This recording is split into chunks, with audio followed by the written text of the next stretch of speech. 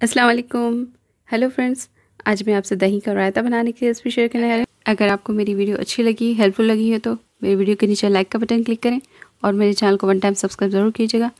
और bell icon को भी ज़रूर क्लिक कीजिए ताकि मेरी आने वाली जो भी लेटेस्ट नोटिफिकेशन है आपको सबसे पहले मिले। चलिए शुरू करते हैं दही का रायता बनाना हम यहाँ पर। फ्रेश दही ले ली है मैंने यहाँ पर, ताज़ी दही। अभी यहाँ पर हम हरा धनिया ले लेंगे। हरे धनिया को मैंने साफ़ तरीके से धोकर दो से तीन पानी में वाली चॉप कर लिया है। हरी मिर्च का पेस्ट ले लेंगे, नमक ले लेंगे, नमक और मिर्च अपने टेस्ट के अकॉर्डिंग यूज़ कीजिएगा पानी ले लेंगे, पानी ज़रूरत के मुताबिक यूज़ करेंगे हम। एक मिक्सिंग बाउल ले लेंगे, उसके अंदर दही ऐड कर लेंगे। हरी मिर्ची का पेस्ट ऐड कर लेंगे हम यहाँ पर। नमक ऐड कर लेंगे। विस्कर से हम मिक्स कर लेंगे इस तरह से।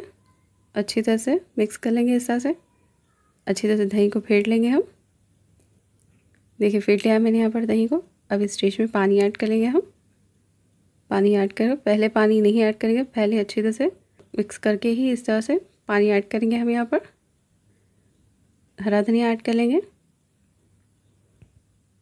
हरा धनिया ऐड कर लिया मैंने यहाँ पर। अब स्पून से मिक्स कर लेंगे इस तरह से। मिला लेंगे इसे। अच्छी तरह से मिला लिया मैंने यहाँ पर। अभी गार्निशिंग कर लेते हैं इसे हरे धनिया के साथ। देखिए, काफ़ी टेस्टी और हेल्थी रायता बनकर तैयार है।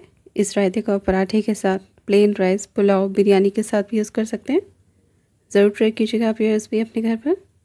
बच्चों को, बड़ों को, हर किसी को पसंद आती है। अगर आपको मेरी वीडियो अच्छी लगी तो लाइक शेयर एंड सब्सक्राइब ज़रूर कीजिएगा। बेल आइकन को भी ज़रूर क्लिक कीजिएगा ताकि मेरी आने वाली जो भी लेटेस्ट नोटिफिकेशन आपको सबसे पहले मिले।